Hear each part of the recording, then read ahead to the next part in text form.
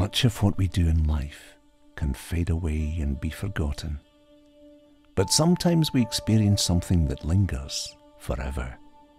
The build up, the anticipation, the cherished memories, the joy of the ball hitting the net, the celebrations, the feeling of achieving something against all odds. The more the years pass, the bigger the achievement becomes.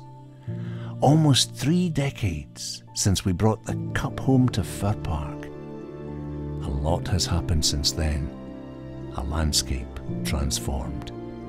New lives to adjust to. Friends lost too soon.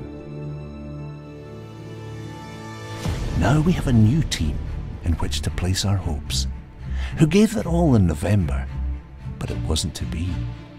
Players who stood tall in the face of Goliath, fearless warriors who kept going through adversity, stronger for the experience, ready to pick up the fight again. And this is a team who embody the spirit of us all, who never give up in the face of a battle who've given us all moments which make it all worthwhile.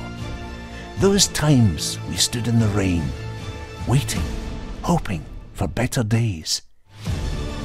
And they'll play to end the wait.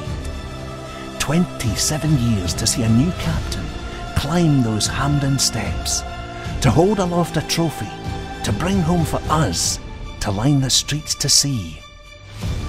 Few will give us a hope in hell's chance. But on Saturday, we will fight and fight and fight. Just one last push, and it can be our time. Time for new heroes.